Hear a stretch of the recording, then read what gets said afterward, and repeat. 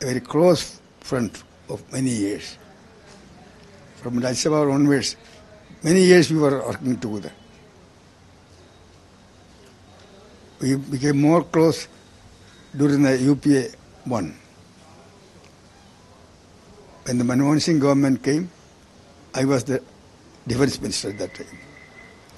Since the left parties were not in the government, we formed an informal mechanism of meeting together of Congress and left leaders.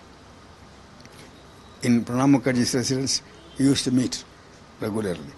In all the meetings, along with Prakash Karat, he used to attend.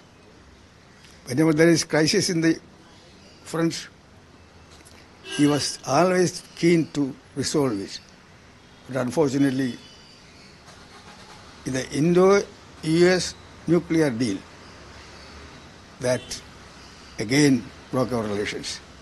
But even after that, he was trying to find ways to work, whatever may be the difference in the states, national level, how to work the national level, along with the Congress, along with the secular democratic parties. Finally, India Munani became a reality.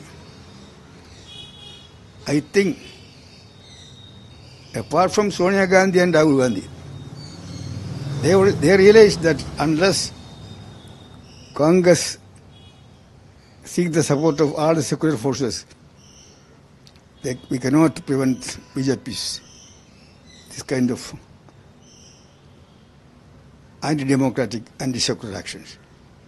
At that time, when Sonia Gandhi and Rahul Gandhi took the lead, Sitaram Yechury is the first leader.